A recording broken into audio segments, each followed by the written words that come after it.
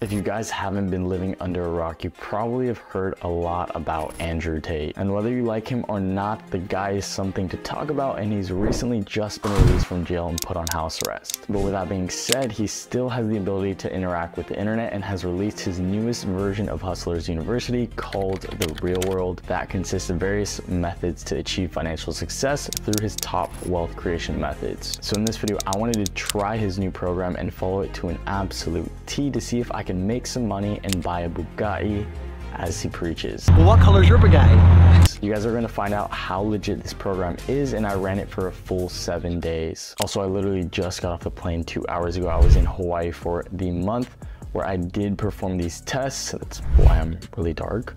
But the cool thing is that any of these wealth creation methods can be started from anywhere simply with Wi-Fi. Also another thing, what I'm gonna be doing for this video is giving away the store that I have created for this video to one of you guys that likes the video, that subscribe, and lastly, that comments below a place that you guys want to travel to or simply something insightful. But let's waste no time and hop right into this video.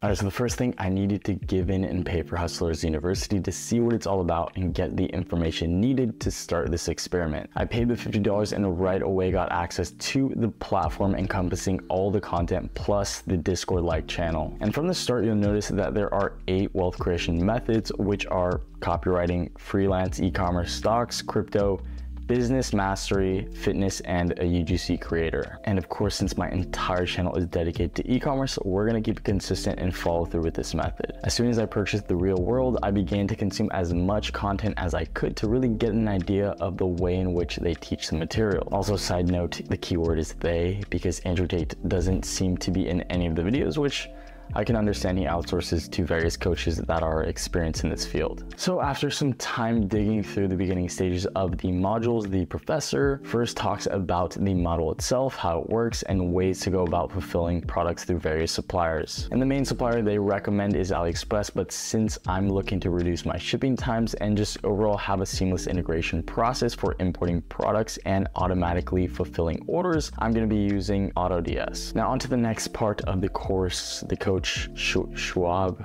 Schwab, I think that's how you say I don't know how you say it, but he talks about the winning product criteria and that product must have wow factor, must be sold in stores, have a specific niche, and solve a problem along with being able to mark up three to five times. And as for the research, the course recommended me to use a tool called Minea, which actually it's coincidental because I personally already use Minea as one of my main methods for finding potential winning products. So the tool shows you current winning products and you can also spy on their ads, see the products being sold and use advanced filters to find products within various niches. All right, so here we are on Minea and at the dashboard, if we go to the dashboard and we go into Ad Spy, we can see between Facebook ads, Pinterest ads, and TikTok ads. If you guys wanna go ahead and search a specific niche or series of products, you can go ahead and do that. So I can go and type in pets, and it's gonna give us all types of Facebook ads specifically for pets. From there, we can see the Facebook ads and we can see any product based ad through this search method. Now, what I like to do,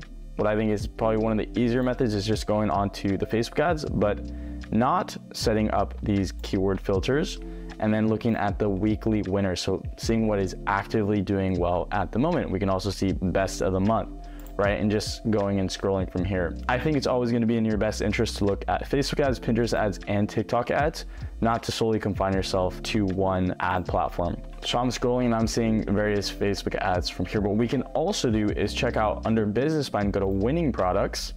And this will give us a series of winning products for today, for the week, and say that I'm scrolling, what I can do is pick any product from here and go ahead and analyze it and get a better idea of the insights. So from here, we can see that these guys are running Pinterest ads. If I scroll down, I can see exactly where they are going about their targeting, their audience targeting in the US and Canada. They're also doing a little bit of Australia and then France as well. And then if we scroll down, we can see the estimated sales. So since the 14th of April, they've done $41,000 1,000 thousand units sold and the average order value is $34 right so we can see pinterest ads and from here we can see the entire ad library so every active ad on pinterest that this company is running and so for us this is great information because we can see what their winning creatives are, quote unquote winning creatives, where they're spending the money to get an idea to how we'd go about our ad strategy. Overall, I just think this is a great platform to have a clear cut strategy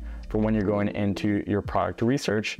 Now, everything is completely systemized. We have all the analytics here to determine whether or not any of these products are going to be in our best interest to go ahead and test. So I'll leave a link in the description for you guys to go ahead and check out this app and to try it out yourself. And after some digging, I was able to find a solid product to build my foundation around. The product I decided to go with was a sneaker cover for your shoes for the bottom portion specifically being sold by a company named Sneaker Soul. I think this product is super solid because of the fact that the people within this niche and community generally have money if they are purchasing high-end shoes. Not only that, it's a perishable product, so once it is in use, the person has to purchase again or purchase more than one item. This is where bundling comes in. And the margins are the following. The unit price for the protective sole is only 99 cents, and then the shipping is $3.16. And I did not go for the cheaper options because they did not have tracking. Remember, always choose the tracking available option, even if it's a little bit more, because if someone files a dispute and you don't have that tracking number, you automatically lose any chargeback. Now that we have the product, we are ready to start the store creation process. The recommended platform was Shopify, which is great because I'm already so familiar with it. I've been using it for many years, but not only that, I am a dedicated Shopify partner and I can get you guys an exclusive link that offers Shopify for only a buck on top of that, $50 in free App Store credits. So you can simply go ahead and sign up at the link in my description to take advantage of this offer and save a whole $38 a month on your Shopify bill. Now, once we are in the dashboard, we're gonna be using AutoDS to easily import that desired product from AliExpress over to our Shopify store. And same thing, I'll provide links below to all the tools I use in the video. So any one of my videos, you can go ahead and press the link in the description. We're gonna go and find AutoDS right here. And we're gonna get directed. We're just gonna put in our email for our store. All right, and we want to sell on Shopify. So we're gonna select Shopify. And then we have right here are the plans. I'm gonna go with the starter 500, it's the most popular. Kind of just contingent on how many orders or how many products we're gonna be importing. So I'm gonna go with starter 500. Put in my credit card information. I'm gonna come back right after this. And here's the extended trial, as I said before. All right, so here we are onto the dashboard and we're gonna go ahead and add our store. Add store, add the app, and then we're gonna go ahead and link our store. We're gonna sign in, we're gonna select our store, and then we're gonna go install app. Okay, and then we're gonna go in and add a product. We're gonna add our first product and we're gonna copy that AliExpress link that we have for our product put it in there. We're gonna head over to products. We're gonna go into drafts. And we're gonna select our product and then we're gonna import.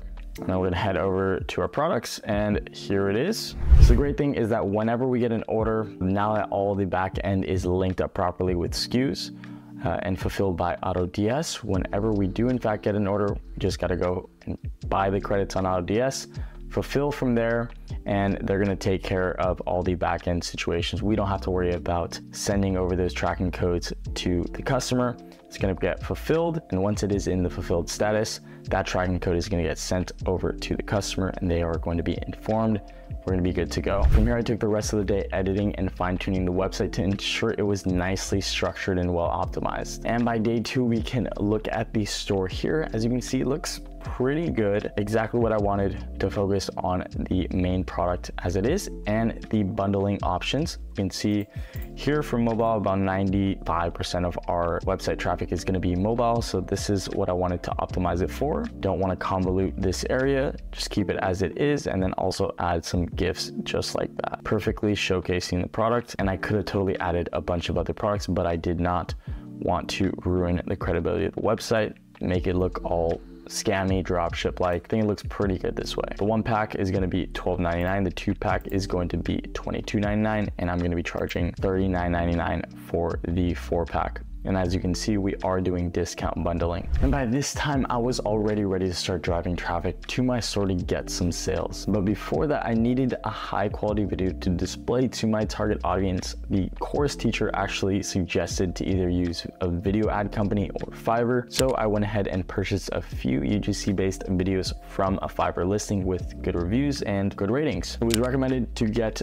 three to four different UGC videos for the product I plan to test, and that's exactly what I did. So after receiving three different videos from there, I was ready for the ads portion, which is arguably the hardest. Two ways the program teaches you how to acquire website visitors is to either go with organic traffic, the free way, or Facebook ads, TikTok ads, the paid way. I went ahead and used the paid traffic route as it helped me really expedite this whole experiment. Specifically, I was using Facebook ads. And the course advised me to run a $50 a day budget for two to three days. So that's one campaign, five ad sets, $10 per ad set, three to four solid UGC based creatives, and each ad set will be identical in terms of the targeting except the detailed targeting interest. I went ahead and targeted people that I thought would have a high interest in a product like this. The interests that I started with were Air Jordan, fashion accessories, sneakers, Supreme, and streetwear. And once again, I followed pretty much every step of the course. I didn't use too much of my own intuition. So now that all the foundation was set, I proceeded to activate my ads. And for the first day of testing, we managed to make $73.93